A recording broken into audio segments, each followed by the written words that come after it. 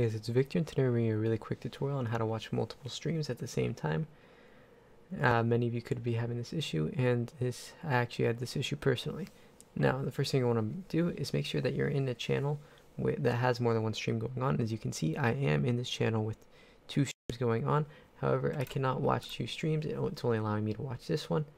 And the way to fix this is you're going to want to hover over the name of the other person in the channel whose stream you do not have.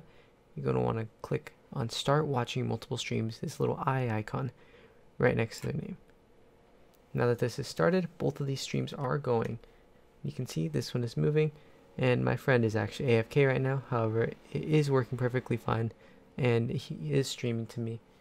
So that's the quickest and uh, easiest way to watch multiple streams. You can click on either one or click on grid to switch back and forth and do what you want in order to watch all these streams on Discord. If this you, make sure to like and subscribe.